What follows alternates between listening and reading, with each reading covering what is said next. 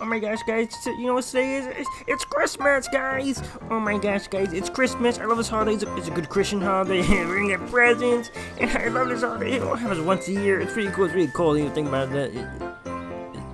What the?